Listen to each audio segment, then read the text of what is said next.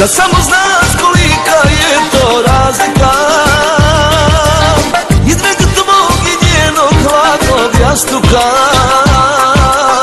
Al kasno čovjek shvati to Koliko je pogriješio Koliko je pogriješio. Ni blizu tvojih nisu njeni dodiri. Između tvog i njenog to se ne mjeri Al kasno čovjek shvati to Koliko je pogriješio Koliko je pogriješio.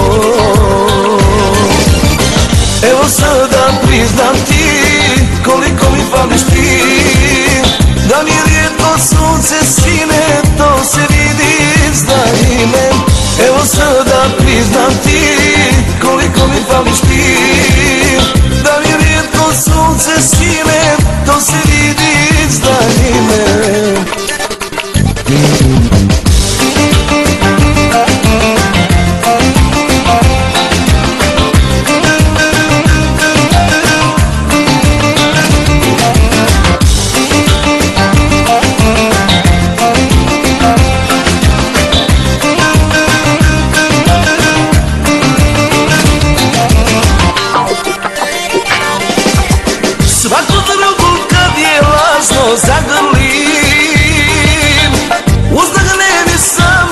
sebi zamjerim.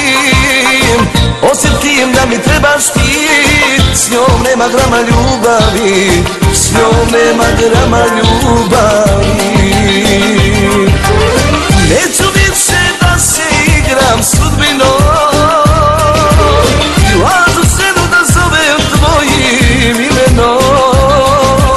Jer je zalud sretna svam Kad za tobom patim ja Kad za tobom patim ja. Evo sada priznam ti Koliko mi fališ ti?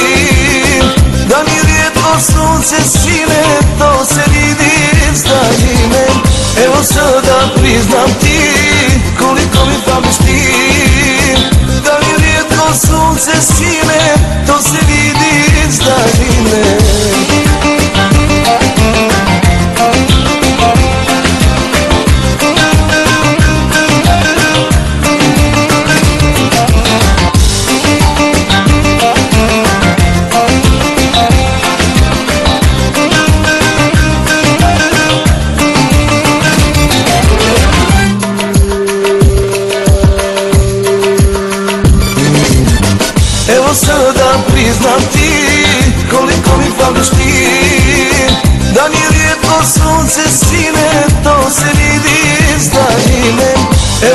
da priznam ti Koliko mi fališ ti. Da mi rijetko sunce sine to se